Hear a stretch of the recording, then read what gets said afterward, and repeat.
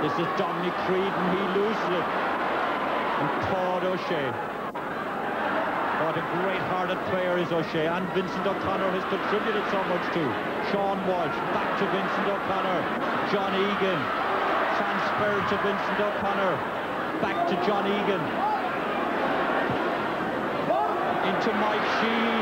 And Mike sidesteps and then takes the point. And then when Kerry do it like that, it looks so easy. John Moloney's looking at his watch. And Kerry establish a monster record of nine successive titles. Cavan got nine in Ulster way back in the last century. They're the only other county to get nine.